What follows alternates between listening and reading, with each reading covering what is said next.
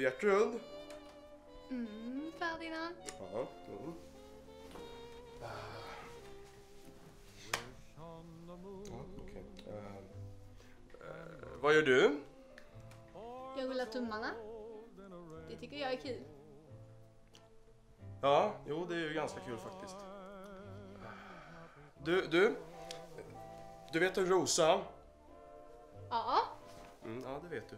Eh, du prinsessan eh, går och blir, sover ett jävla bra tag. Sen kommer en man eller prins eller så, eh, väcker henne, de gifter sig, skittrevligt eh, och allting blir jättebra. Lite som du och jag.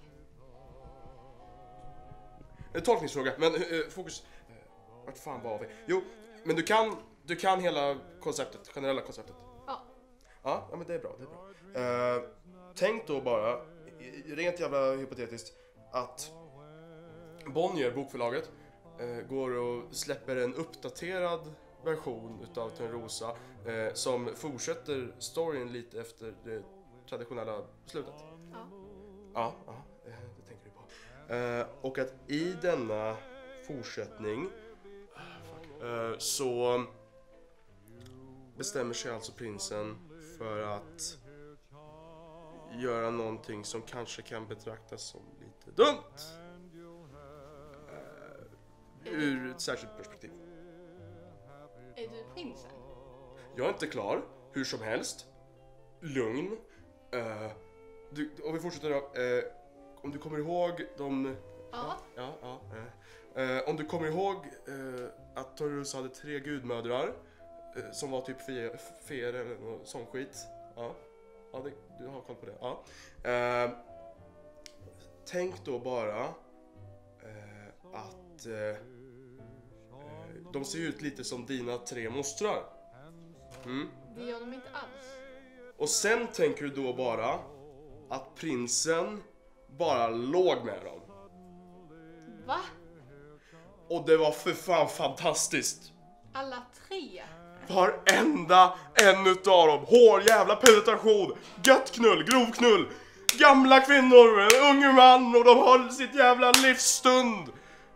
De är gamla ju. Ja, Ferdinand, vad har du gjort?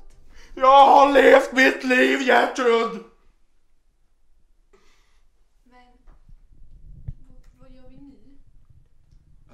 Ja, eh, men då tänkte jag så här Gertrud, att eh, jag går, prinsen går eh, och eh, eh, lever lycklig i alla sina dagar eller vad fan de säger med dina, eh, Törnrosas tre gudmödrar eh, Nej. Gudmödrar, ja moster, gudmödrar, ja så. Eh, och så har de det bra tillsammans utan Törnrosa. Nej. Eh, och så skickar prinsen eh, skilsmässopapperna på eh, torsdag. Så löser vi det så. Låter bra? Okej. Eh, Why are there so many songs about rainbows? And what's on the other side? Rainbows are visions, but only illusions.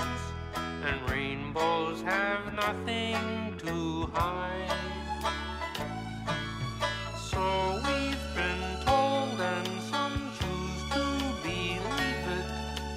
I know they're wrong. way.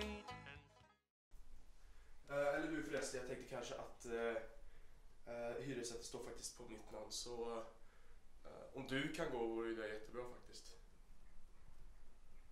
Snälla.